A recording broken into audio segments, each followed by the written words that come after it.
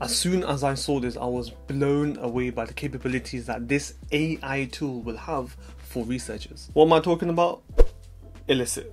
It is genuinely a digital research assistant for researchers across the world. It actually uses those GPT-3 like language models like we are familiar with with ChatGPT to help you to answer questions that you can type into Elicit for research purposes. And what makes it different to Google Scholar or even ChatGPT itself is that it actually provides a summary of those findings in a little table and it's very easy for you to navigate. And what blew my mind genuinely it is that when you give it a question, it finds sources through research papers, not the internet, through actual research papers and it collates what you can find to your query, compiles it together in terms of the summary of those findings from those like latest eight research papers, and then it gives you that summary of findings.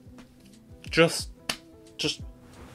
So let's add a little bit more context. You give it a research question, so related to your research or your PhD, something that you need to look into. Now, normally you would find papers from Google Scholar, PubMed, and everything else. You look at all of these papers, find similarities and differences, and then you collate your summary. Whereas Elicit, as you can see in the graphic here, you give it a research question. It then goes away and finds eight research papers, re ranks them accordingly, and then sends you those re ranked top papers. Then uses all sorts of computer jiggery that I have no idea how it works. I'm not going to attempt to explain it to you.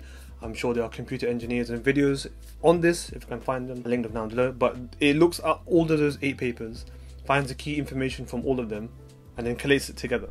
Then finds critiques, which is amazing, and then sends all of that information back to you in that query. So you can imagine the permutations, capabilities, and potential this will have for researchers. Like, just put into perspective the ability to ask a research question to an AI model that will find research answers through research papers for you, give you all the findings in a probably split second, maybe, or a couple of seconds. The speed of the information is remarkable. But enough of me babbling.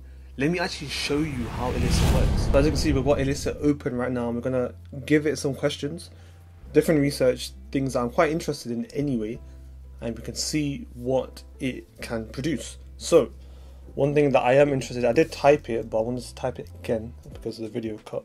But what is the impact of cold showers on muscle growth?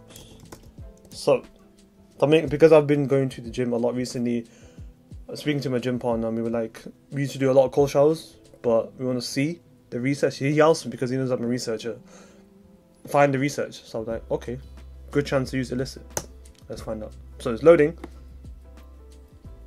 That was quite quick. I think it was a bit quicker because I did search it just before this. So I think maybe a couple of seconds. But you can only see there's eight papers I'm referring to like that. And here's the key part which I'm very interested in, which is that little summary. So it's looking at these eight papers and trying to basically give you a concise summary about what these overall papers may show. So these papers may suggest that cold water immersion may not be effective in promoting muscle growth, which is generally the consensus. It's stating these these these papers, which is phenomenal. Although these papers are quite old, except for the 2015 one. But you can see in a matter of seconds you can ask a question related to a chapter in your thesis or an experiment. You know, does X, Y, and Z experiment or is it influential for this type of research? Or if I change this in my experiment, what's happening. But it's more, I think it's more overview research than in particular ones. So let's see. So I'm interested to see that. Next one is um, something I'm actually quite fascinated in is what are the new monoclonal antibodies to treat severe asthma? So I haven't searched this before, so you can see it's a little bit longer, but I'm talking one second to four seconds. Like seriously, it's that rapid, and you can see it's generating the paragraph here. So what, 10, 12 seconds? If you're looking at speed, if you wanted to. Again, these papers suggest that there are new monoclonal antibodies to treat severe asthma, which is apparent. And if you're looking, even looking at these papers, you know, we've got omalizumab, which we know, reslizumab, which is quite um, newish in the area. This is from the second postdoc that I did an area I'm still I'm still very interested in. But again, I can I haven't even looked at the capabilities. Look, I just clicked on the paper, gives me the whole insight, which is phenomenal. and like the, again, this is fresh. I haven't even clicked on these papers even before this. I found about this today, and I really wanted to make a video. Literally, it. Um, I'm looking. If you're a PhD student now, this is huge. Nah, I'll be honest. Um, wow, you can just you can just read it, and it's so quick still. Just and then one last one in terms of like a live demo. Um, what is the best fruit in terms of antioxidant capability? Trying to spell lives daunting sometimes. But again, loading doesn't take too long. A little bit longer this time. But if you while you're waiting, if you do want to subscribe to the channel, feel free. While we're waiting for it to load. Um, it really helped me out. We're close to 1k. Been nice to hit that mark. Um, so I really appreciate it uh, while we're waiting. And thank you for those who have been watching um, for the past two years, which has been amazing. But anyway, back to this. Again, those eight um, papers. Some are fairly old, nothing like super new, so that's of, of interest. You can click show more. But again, that's the that paragraph we've done about that strawberry is one of the best fruits in terms of antioxidant capabilities. Highest ORAC rating. Interesting because we know that um, acai berries, um, berries generally do have the kind of the biggest ORAC rating. Um, but let's just click show more, um, which is I'm sure you'll find some maybe new papers uh, of interest. 2004, 10, 14, 5, 17. So I believe um, we're going to come back to it later on in the video, but it's based on kind of a 2019 language model. So I don't think, and I'll when I edit the video, I'll see, but I don't think it's going to look at brand new papers in the past couple of years. This is this is the beta, by the way. Um, so, but in terms of capabilities. So that was a live demo of the beta. This is the only beta that's released. And the reason why they've done that, which is quite smart, is that even though it's in its infancy, they want user to use it and then get feedback so they can iterate it quicker. What does this mean for researchers? So I mentioned in an earlier video of mine about ChatGPT and writing your thesis, which is linked down below and I'll put it here. The notion of automated workflows to increase the start and the end of a research kind of time frame. So what I mean by this in short, you need to research in terms of see what's out there in your field, find what's the latest trends, what's good, bad, what are the gaps in the knowledge. Then you do the research and then you share it. And I mentioned that AI can help the start a little bit of the middle, but the end as well. So being able to find those papers quicker, like I've just shown with this piece of software, even through ChatGPT perhaps, but this is more dedicated to finding actual papers. And then when you want to share that research out there, you can use AI to help you to get it to the right people. And this is great for research because it's sourcing actual papers, not the website or a link on Google, for example, which is amazing. So it's increasing that workflow and minimizing the, the grunt work when you can just think of a question ask Elicit, you get those papers you need, and then you can do your own creation. But it speeds up that thing that would have taken maybe a couple of hours. And second thing, in terms of what does it mean for researchers, is that it helps you to be to do quicker things in terms of other parts of your research. Now, if you're writing your thesis and you need to, you know, get some more research papers in that area, you can ask Elicit. If you're kind of correcting uh, your comments from a paper that you published and you got feedback back, and they're saying that you know we need to find some other research to corroborate this or back up this, you can use Elicit. You know, there are so many. If you're writing a report or if you you know trying to do a presentation and you find some references quick, and somebody asks you a question and you want to go away and have a look, Elicit might help you just to get the ball rolling quicker. And that's how I see Elicit in this early stages and just me just testing it today. Just kind of my first impressions.